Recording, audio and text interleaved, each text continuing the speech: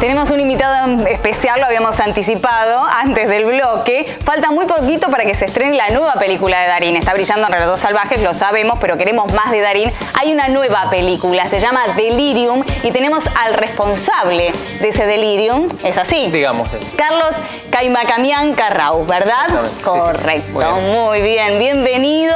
Contanos, esta película donde Ricardo Darín hace de Ricardo Darín, ¿cómo es? Y es un delirio. Va, no sé, prefiero que me preguntes vos porque te puedo. No tengo. Es un delirio realmente. Em, ¿Qué hay de cierto? Que Ricardo Darín te conoció a vos cuando tenías 8 años, te preguntó como al pasar, no era Ricardo Darín la megastar de ahora, te preguntó qué ibas a hacer cuando seas grande, le dijiste director de cine, te dijo vas a ser famoso y contratame, contame qué pasó, fue así, después fue Ricardo Darín.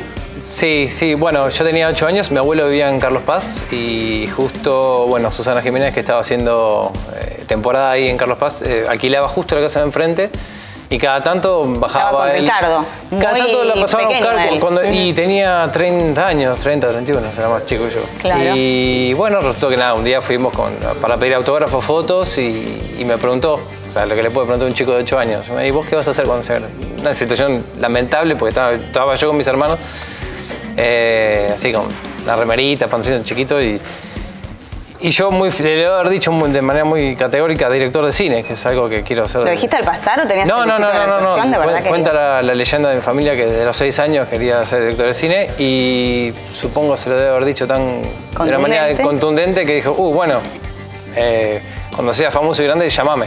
Y fue así, empezaste a estudiar cine y Estudié- tenías esta película, a ver qué hay de cierto, que hace como 10 o 14 años que estás haciendo este guion, más o menos. Sí, la idea surgió en el 2001. eh, el guion, bueno, al poco tiempo y a partir del 2003, 2004, cuando ya nos conocimos de nuevo con Ricardo, fue como una especie de reencuentro. No es que estuve 20 años Sí. pensando, tengo que hacer algo.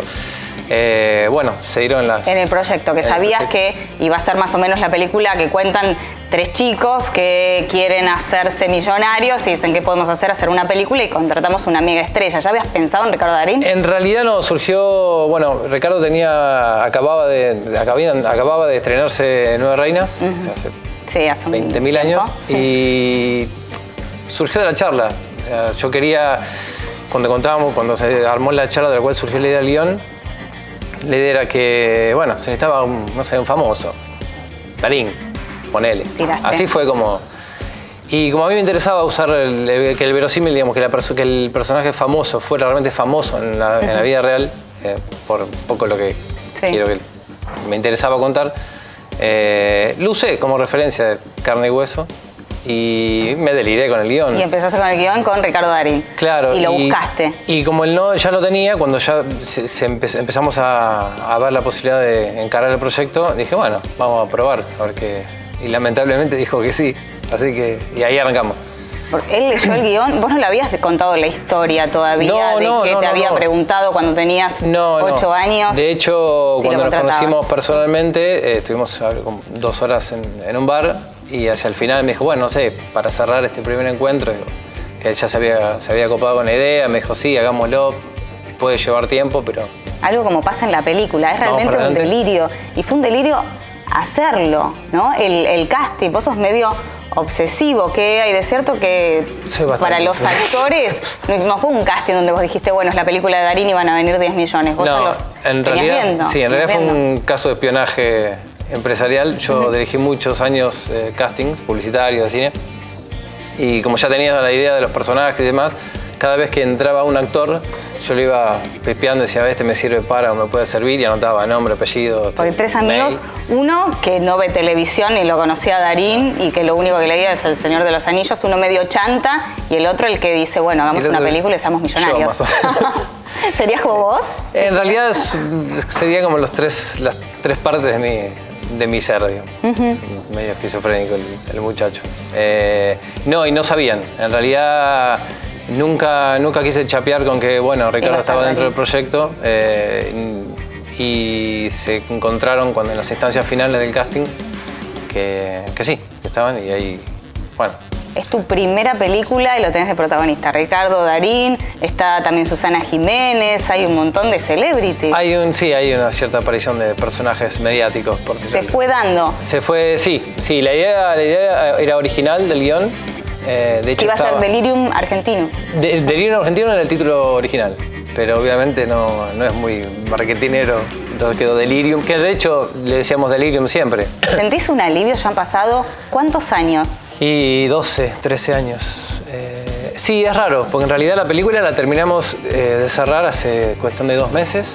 Entonces como que todavía está muy, ¿Qué hay de muy presente parte todo. Del montaje la, la parte de la barco. Arrancó ahí. Arrancamos en un velero atracado en San Fernando. Sí. Un delirio para hacer la película, ¿no? Hay muchas cosas, muy delirantes tanto delante de la cámara como detrás. ¿Cómo crees que lo va a tomar la gente, así como un delirio. Yo debo, debo decir que la vi, es divertidísima, para matarte de risa de principio a fin. No, no, no, está genial realmente. ¿Qué pensás que va a pasar? ¿Se va a dar el boca en boca? ¿La gente va a ir porque está Darín? ¿Porque le hiciste vos? ¿Por la historia? No, no, por mí no va nadie. Va, sí, mi familia, mis amigos y, demás. Eh, la verdad que no sé, porque se me, se me hizo tan largo, de hecho se fue tan largo el proceso de, todas las instancias. Rodaje hace cuatro años, montaje hace año y medio, dos, eh, postproducción de sonido hace meses. Entonces es como que para mí la, me, cuesta verla como un espectador que la va a ver por primera vez. Y aparte, eh, sos como visionario, porque hay cosas que vos lo hiciste, que hiciste hace siete años atrás donde predijiste que el Papa iba a ser este, argentino. Bueno, en realidad fue una, sí, en el rodaje a una, a una de las actrices que pide por, por Ricardo en un momento, eh, como una especie de milagro, yo le dije, mirá que el Papa es argentino. O sea, pedíle a cámara y bueno, hace tres años estábamos montando la película y surgió. No, cuando hace dos años creo que. Claro. Bueno, eh, ya ni siquiera sé cuándo se montó la película. Falta muy poquito para el estreno, el 2 de octubre, así que vamos a estar todos allí viendo Delirium, la nueva película de Darín con Ricardo Darín. Que te vaya muy bien, es excelente, divertidísima. Y también este, sos un visionario, después vamos a hablar con Horacio porque en algún momento hiciste un corto con él. Hace 17 años. Sí, sí, sí, tremendo. Se lo vamos a mostrar. Bueno, muchas gracias. Eh, a ver, Delirium el 2 de octubre. Continuamos con Horacio. Me acuerdo perfectamente, don Carlos, con la inquietud de, de un muchacho que en la escuela de cine ya se destacaba como aquí